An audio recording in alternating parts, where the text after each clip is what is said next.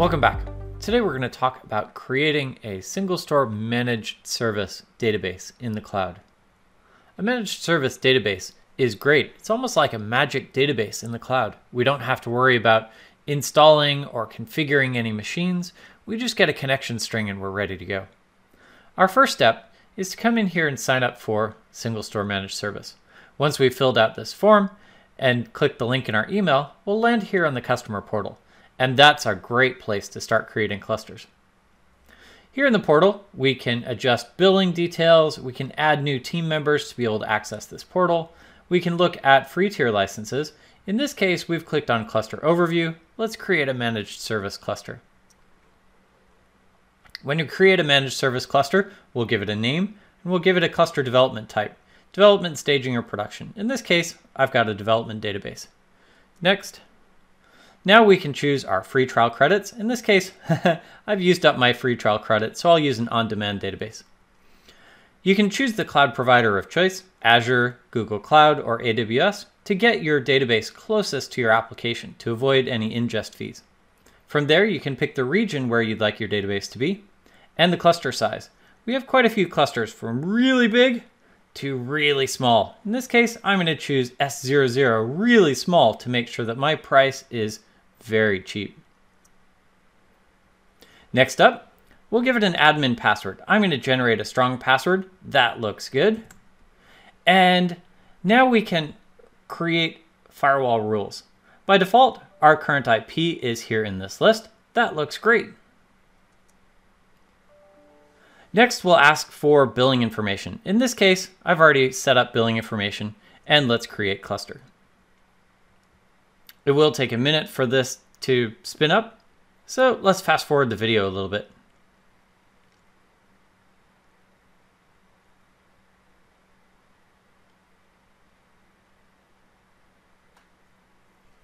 Our database in the cloud is ready to go. Let's dig in. We can take a look at through all of the settings associated with our cluster, all of the settings that we provisioned as we started up our cluster. We could edit the cluster type, the expiration, the size. We could change the password. Here's a connection details to our application. Let's do that. I've got my password in the clipboard. Let's come in here and paste the password into place.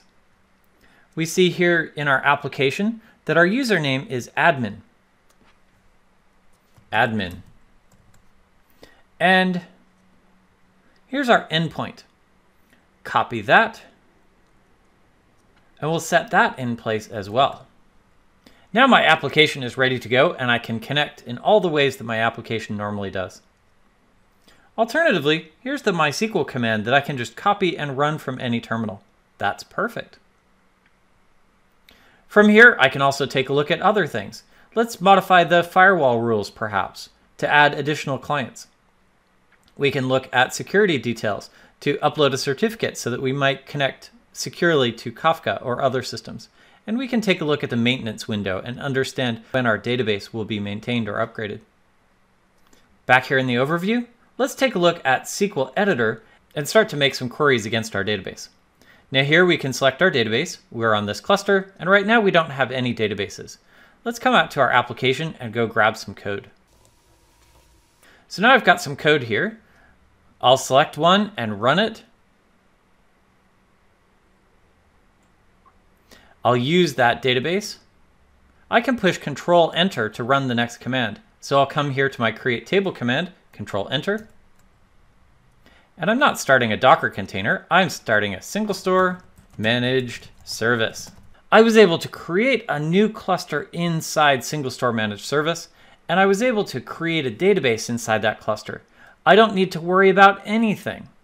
I just update the connection details in my application, and my app is ready to go. You can get started with SingleStore Managed Service really easily. Come here, start up a trial, and you can use SingleStore Managed Service right away. Thanks for watching.